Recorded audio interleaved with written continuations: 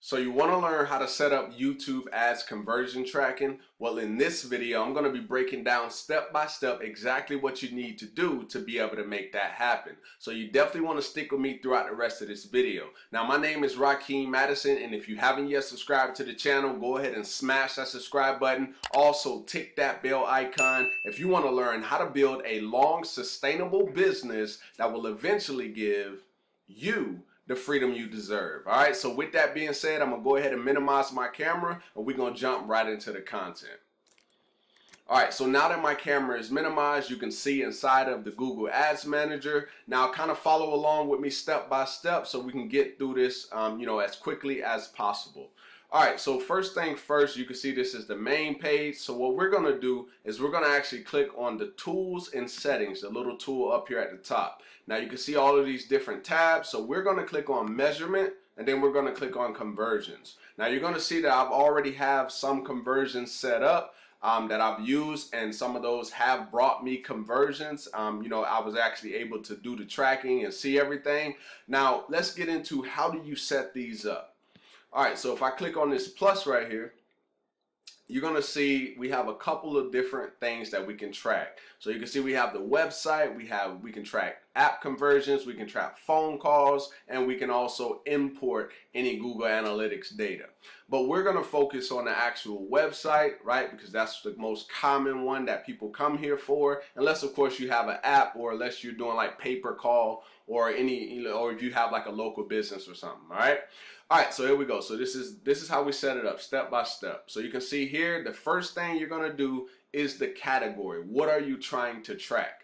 So if I click this drop down arrow, I can track purchases, right? You can see it says when someone completes a purchase or checkout flow, um, we can do add to cart, we can do begin checkout, subscribe, um, contact, and then you see this one right here is submit lead form. Okay, this is the one that I use. And then when we go back to the other page, you'll see I've used that quite a bit um, because the way that I set my stuff up um, when I'm running ad, you know, campaigns, whether it's running them on Bing or I'm running them on Google Ads, I want to have, you know, my capture page, but then the page that they come to after the capture page, that's where I actually put this particular conversion pixel. The reason why is so that I want Google to tell me when I'm generating leads versus me going back into like whether I'm using ClickFunnels or Online Sales Pro or Royalty, whatever I'm using um, where I built my page. I don't want to have to go back to that every time, even though some of those uh, tools that I use, they actually have like instant notifications. But like for ClickFunnels, right? Unless you have like your your GetResponse or your AWeber set up already to show you when you get leads versus you actually logging in. What you could do is literally, and, I, and I'll show you guys here in a minute after we show you how to set it up, but you'll be able to see, okay, I see this amount of conversions, this is the amount of leads that I have. So that's where the power comes in for that. All right, so let's get back to this. All right, so what we're gonna do is we're gonna use submit lead form.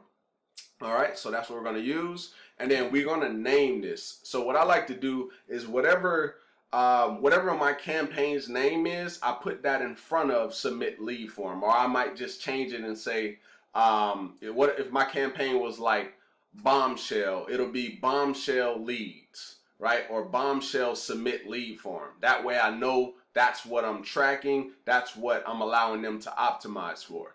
All right, so I'll go ahead and do bombshell since I just kind of came up with that off the hook. All right, so bombshell submit lead form. And then now this right here, the value. Now, since I'm tracking for leads, right, the thing that I use, I go to don't use a value for this conversion action. Now, it says not recommended, but like I said, I've been doing this for quite some time and I know what it is that I need to use to be able to make this work. Because if you do use the same value, this is somebody who's obviously running a ton of ads. They know their data. Um, they know like when they put the number in, the number you will put in here is so that once again, without you going to go check your stuff, you'll be able to look inside of your Google your Google uh, statistics, and you'll be able to see, okay, I've gotten this uh, this amount of conversions, and whatever amount that you put here, that's the amount that you make for that conversion right? So if, if you don't really want to go even more, a little bit more techy into all of that stuff and you just want to track for leads, I highly recommend you just go to don't use a value for this conversion action.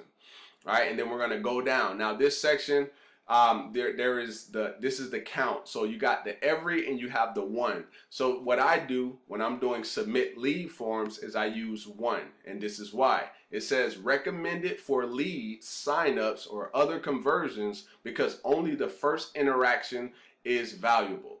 Now, if you go to this, now let's actually read this. You are tracking leads. Someone clicks your ad and enters their information twice on your website. Um, and then it says only one conversion is is reported per click.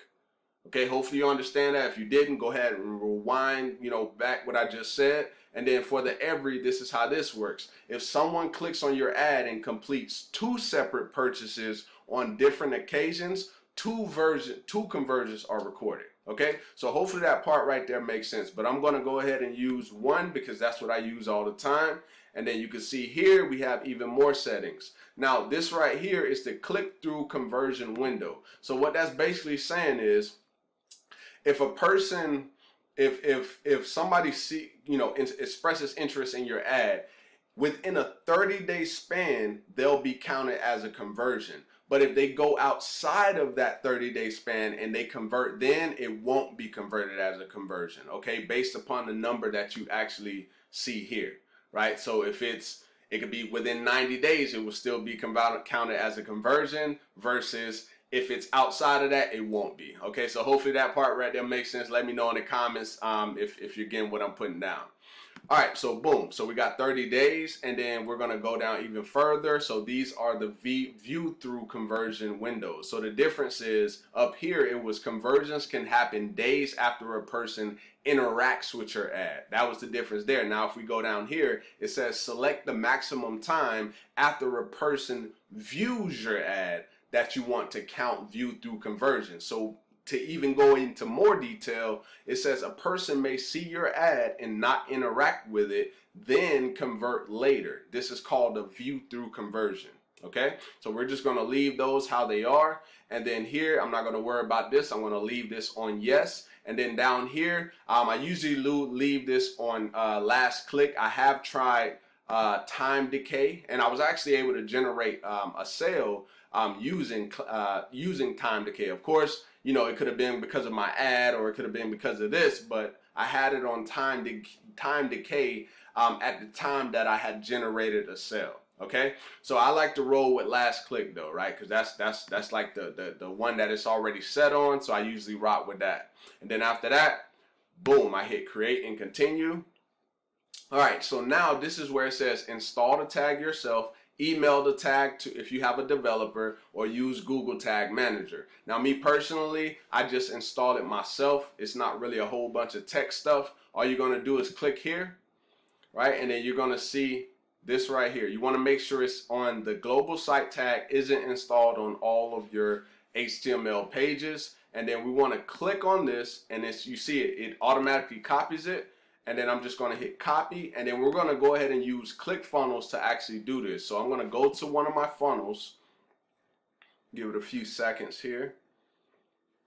And then once I once I pull my funnel up, I'll actually show you how you need to install it. Now this is using ClickFunnels, right? But whatever you're using, like I said, if you're using Online Sales Pro, um, Builderall, as long as you understand what the head code is, right? If you're putting it in the head code, and on the page, then you're going to be fine. So let's go to the one that I'm probably going to use. Let's go to Jumanji funnel. All right, so all right, so now once we're on this page, if you're using ClickFunnels, um, we want to go to settings, okay? Because we want to do it for the entire funnel. So we already copied it. Now we're going to put it right here in the head tracking code. I'm going to paste it right there. Give me a sec. Boom. So I pasted it in there and then now I'm going to hit save down here. All right, so save and update settings. So now it's installed throughout the funnel.